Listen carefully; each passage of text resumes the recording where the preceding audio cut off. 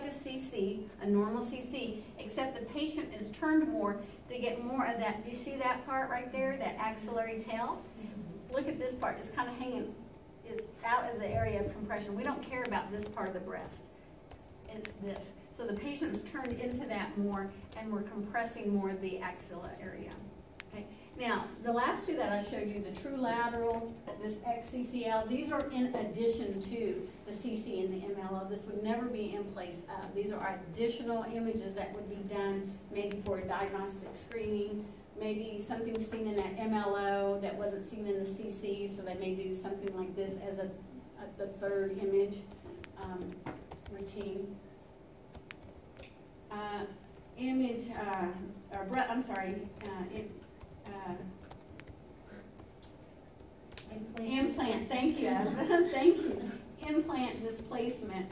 Um, okay, so now the uh, patient has an implant. A lot of times I'll put it in that retromammary space. And so the actually the um, implant can be manipulated up the chest wall. Literally, I can, I've not done one of these. I can only imagine the, the massaging that is going on. So unfortunately with um, this type of imaging, there has to be four images um, done instead of um, two. So you do the CC and MLO with the implant. So you can't get much compression with that. I know one of the things we're looking for is rupturing of the implant, but we don't want to be the ones causing the rupture. So there's not much compression. then the implant itself is manipulated up the chest wall as best as possible, and then the breast tissue is brought out, and then that's compressed more. So um, uh, that's a technique that I think techs are now um, are getting much better at. Um, I certainly wouldn't be one, but I think nowadays that they are. Uh, you can see this implant is uh, nice and um, contained. You can. It's hard to tell on this image, but uh, it's leaking up the chest wall here. The silicone is leaking up the chest wall. And you can see where we're missing a lot of breast tissue on this side of it and on the other side of it, above and below the implant. Um, we're not able to see. Here's a from below. Um, this is not a very good compression. You see how it's angled? You see that compression? It's angled. It needs to be flat. It needs to be level. So um, not not good compression. But this is from below coming up. So if a patient has um, kyphosis, uh, this is certainly one that, that, you can use. Criteria is still the same. A little, bit more challenging to position, but the criteria is still the same.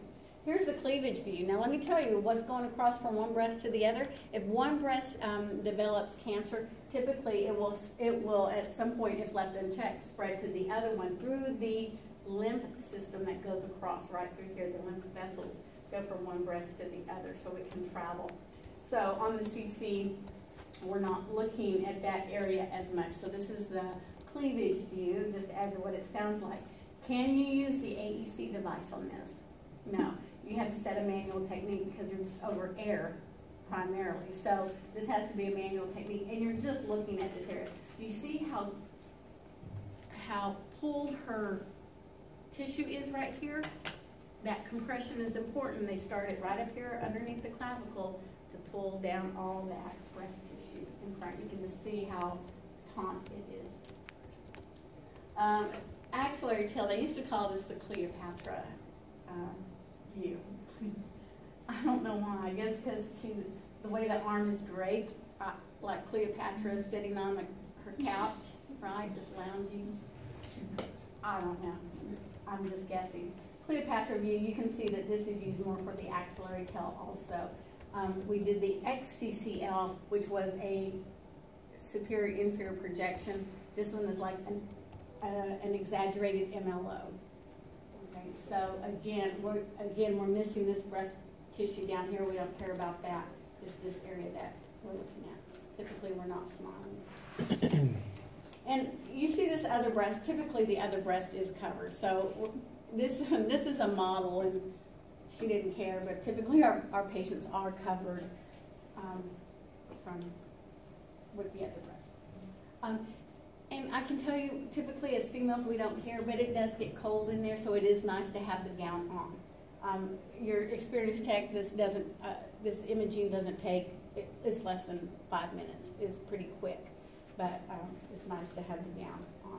So this is spot compression. So if an area is seen, so if a person, a patient has dense breast tissue, and and again, just like your small bowel series where you're looking at the terminal ileum and the doctor compresses the tissue to spread it out, well, it's like, well, the compression paddle is for that. Well, spot compression, you can compress further. It's like, it's like a balloon, a filled balloon, and you press on it, all the balloon, you can only press so much before it bursts. But if you got your thumb and you had a blown up balloon, you could go probably all the way to the sides of the table because the balloon has room to expand out to the sides. Does that make sense? So with spot compression, they can get more compression because the tissue has room to spread out. So, so this is a compression paddle still, it's just a smaller one. Here it is using in conjunction with the platform for um, magnification platform. So here the breast tissue, um, here's the image receptor down here with spot film compression. Again, there's our little So uh, looking at this area of interest, is that normal, not? Um, hard to tell. I'd have to look at the other breast. Do you see the uh, pectoral muscle here? Breast tissue should, everybody, it should be the same size. One of the things that you do for uh, breast self-exam is to look at the breasts and making sure that they look the same. They're not going to be the same size. Which breast will be larger than the other, do you think? Very good. Your dominant side. So if you're right-handed, your right breast is larger. The breast tissue is not larger. That pectoral muscle is just a little bit more developed than your left side. So, um, so that's why it tends. It's not the breast tissue itself is not bigger. Uh, but here you see the spot compression device right here. They magnified and they're able to see this a lot better than they were on the previous one. And looking for those micro calcifications in there or whatever else may be. Do you see the micro calcifications mm -hmm. here and here? So this is the magnified view. And um, so very much an area of interest. So uh, just to recap, this is the CC view. Here's the MLO. Those are your two routines. Um, from below, true lateral.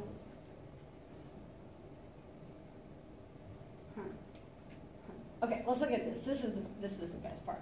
Here's a tomosynthesis um, device. Okay, so this is the X, this is the X-ray tube. There's your um, platform, there's your compression paddle. Do you see that plastic? That's the cone. And then there's the x-ray tube. You can see the foot pedals down here for the tech to manipulate. The whole thing can go up and down and probably turn. And then this is the control panel. So this is your display monitor and your um, console. The video. This makes me want to cry. I think this is just like the single best thing. So um, ladies, if you do have implants or you do have a history, um, this is definitely um, something that um, you want to have.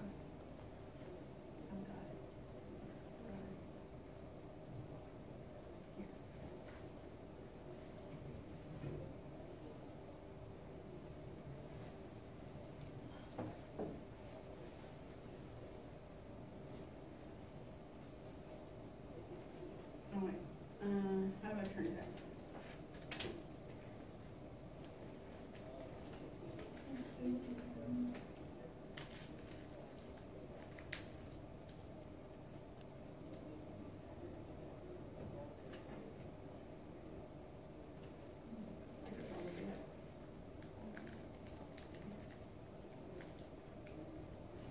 anything else I can do next? what did we do last time? I think there's a mute, I mean, there's a volume too. Um, we have. Me, I all myself. Okay, let me start it. All right. We've reduced the quantity of X-ray And we've also shifted the codes and Also as videos. Um, you have two new? So here is the key the two. When I double the filtration. I shifted has grown to become the standard of care for breast screening. Traditional mammography, however, is limited in its ability to Yeah. see Yeah. through Yeah. overlapping breast tissue. No. Breast anatomy is displayed as a single two-dimensional image. Is that the way the video plays? Surprises for the radiologist and for the patient. Sometimes, breast tissue is not visible on the mammogram because it is hiding behind overlapping tissue. Also, normal tissue can sometimes appear to be a suspicious lesion. Women are often called back for additional views that might not have been necessary. So what happens during a tomosynthesis exam? Your tomosynthesis exam is almost identical to a traditional mammogram.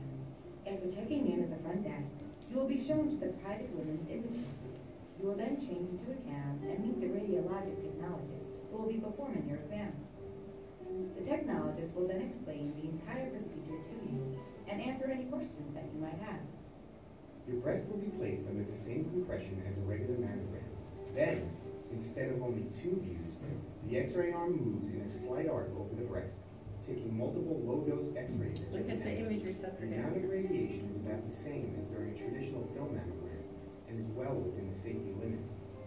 These images are combined to create a three-dimensional image set using one millimeter layers.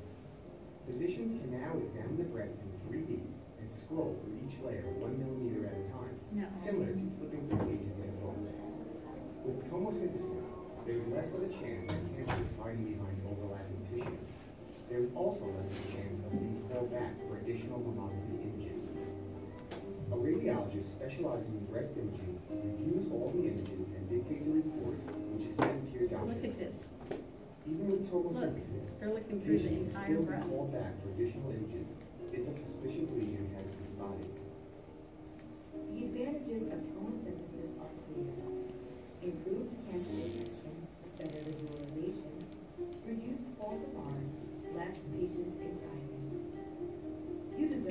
deserve the very best in healthcare. Be sure to ask for 3D tomosynthesis. So how much are those machines?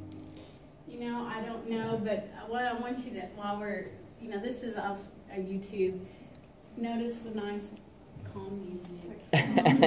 Notice, notice the decor. Does that look like your waiting area out in your hospital? No. Oh, does it? I Nice. had a mammogram that was similar to that. Yeah, it's- it's- Not the tomo. though. Right, but, you know, it's, it's, um, more inviting, more comforting, more home-like, you know, like you say, a spa. Um, Again, to, it's all to alleviate anxiety. Let me tell you, this breast cancer awareness, you, you hear breast cancer awareness, is an industry. It is an industry. The prosthetic devices that they make for women who, who, um, do have to have a mastectomy, the, um, um, I went to a, a mammogram conference, all day conference, one after another, and it was just incredible. Like I said, the industry of it all and and the support women have, and and this uh, tomosynthesis would be just another step. So they take that image and can scroll through and see through. You don't need, to do the spot compression. You don't need to do the magnification. So it's really um, the fact that there are a lot of women um, who have cancer and there are people driving that. Um, people, um, um, people with money um, are driving these innovations and these um, techniques and ideas. So I think this is definitely the future. Your regular mammogram machines are probably going to be by the wayside at some point. So I don't know how much. Um, we had that with regular radiography. We could do tomograms. Mhm. Uh, typically, we did them of the kidneys. We could do them of other things. And so, um, what you're looking at are a, a tomo is just looking at slices, like a CT, except we're using regular radiography, uh, uh, routine radiography exams. So, but the X-ray tube, that's what it did. You had to have specialized equipment for that. You hook it up, turn it on, and the tube would go like this along the length of the table. So just like that was doing, you know, doing it in an art and taking those images. How did you do it for the people with um, Okay, for uh, mastectomy, then they've taken all the tissue and they wouldn't do it for that breast. If they had to take both, then I don't know if they would just do ultrasounds for follow-ups. I'm not sure. That's a good question. Um, but if, if one breast um, is gone, then they would just do it on the other breast. Um, if you've ever seen um, they call, they used to call it a radical mastectomy. They took and stripped the lymph nodes, all the breast tissue, and maybe even the pectoral muscle, and it would just be skin over the ribs. And it's pretty harsh looking. Um, they can do, um, now when they do a mastectomy, they try, they put in what they call, um, expanders, I think that's what it's called, underneath the skin to help stretch the skin and um, different sizes as they progress so that they can put in a um, implant. So um, I think I have one um, image up here of one breast having the implant and the other one not having the implant because that was a mastectomy. But I just thought this was just a great thing um, to have.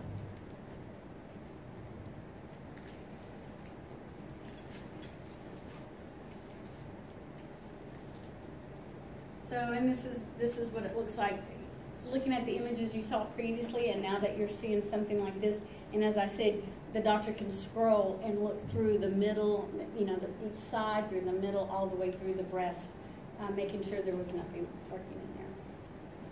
So some of the things that the radiologist is going to want to know about um, is, and, and I've had the radiologist come into the room, and they may see a lesion and they want to see if they can feel it or not. Is it palpable or not? Is, um, or they can find it normal versus uh, abnormal finding. As I said before, stellate lesions versus circumscribed lesions. Looking for those microcalcifications. uh. As I said, asymmetry. So you're looking from one breast to the other, uh, making sure that everything is equal between the two. And if not, then something is definitely uh, wrong. And any skin thickening, they call it the orange peel effect. You know, I showed you um, this image at the very beginning. Um, you know what an orange peel looks like? What happens is that the cancer growing on the inside is stellate, is cancer, that's what they mean by cancer. Um, and so it puckers up the tissue. And so you may see that on the outside of the breast. On the inside, the cancer is um, growing, and in between the stellate part of the cancer, the breast tissue is getting puckered, that puckered look. And so um, that would certainly be something to look at. Um, okay, here is, what view is this? CC or MLO? CC. Oh, don't look at that. Oh. Um, okay, so you can see, are they symmet um, symmetric? No, this one definitely has something going on with it more than this one. I don't know that this one doesn't either, but definitely not sym symmetric. This person, I remember this story. I did not do these, but I remember this story. So this is one side of her breast, this is the other. Look at the breast tissue eaten away here. So um, the 50-year-old daughter went to go see her, you know, 80 some odd year old mother and getting her ready to go out and helping her with her hair, mom's dressed. The daughter noticed some blood on her blouse. What is that? Look. And the breast tissue is just eating away. Mm. And she's like, Mom, what's going on? She's like, What doesn't hurt? It don't hurt. So, uh, people, I don't know. Obviously, something, you know, this entire breast is in, uh, consumed with cancer, which is this one. Uh, here's a mastectomy. So this breast was taken. You can see the little clip there. This is the implant. Um, not, not the same size. They probably didn't compress this one. She's probably very happy to have that, even if it may not be exactly equal. But um, that's what we would, we would still image that, just not the same way. Um, again, compression, you can see um, this side's not quite as compressed over there, but you see the tumor there. And then here's the MLO, you see the pectoral muscle, and then you see that tumor. We want to see it in both planes. If not, then we might do one of those other um, images, maybe the exaggerated CCL, um, make sure we see it in both dimensions. Um, looking at this, this is a pretty good mammogram, wouldn't you say? I would say this needs a little bit more compression, but overall, uh, maybe they were tender with that tumor. This is a male breast. This is a male breast. What we do for females, we do for our male patients also. We have to bring the breast tissue up, hang on to it, bring it forward, compress, all that is no different what we do for a male than a female. It's just going to be smaller. And here are some pictures, uh, gynecomastia. Uh, you can see a tumor there. Uh, there's probably like that female patient where the tumor is eating through the, the skin, which at that point is pretty far advanced. I know, right before lunch, right?